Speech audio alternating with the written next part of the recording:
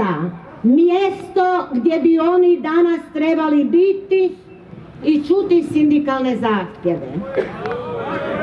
Kad sam rekla da pozdravljam sve ovdje nazočne, onda sam mislila na sve članove Samostalnog sindikata radnika u komunalnim srodnim djelatnostima Hrvatske, sve članove sindikata Hrvatskog vozača i sve članove novog sindikata koji su ovdje u prosvjedu i koji su u ovoj organizaciji.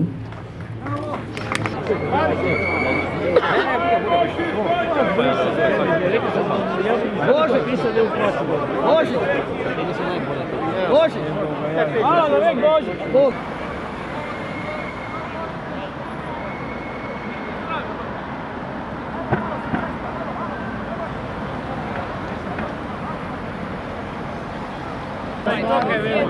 zajedničkom interesu da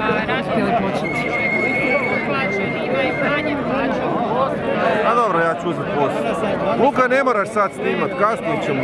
Ne moraš sad.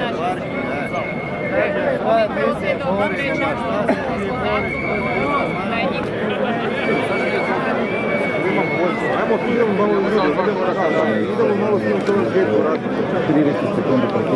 Kolegice i kolege, da ne bi mislili ko sada vodi ovaj prosvjet, ja sam Đurđica Kahlina, koordinatorica sam koordinacije Saveza samostalnih sindikata Hrvatske, e, Zagrebačkog holdinga i povezanih društava. Sve vas pozdravljam i zahvaljujem se doista na ovakvom lijepom odazivu.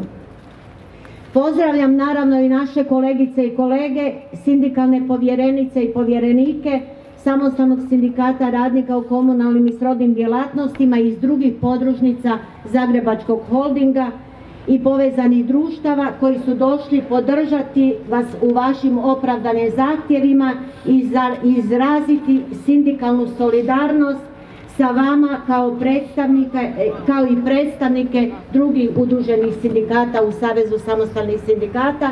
E, ne znam, ne vidim ih sve koji su ovdje došli. Naravno, pozdravljam i sve one koje nismo pozvali, ali koji su osjetili potrebu da se ovdje pridruže. Pozdravimo ih pljeskom.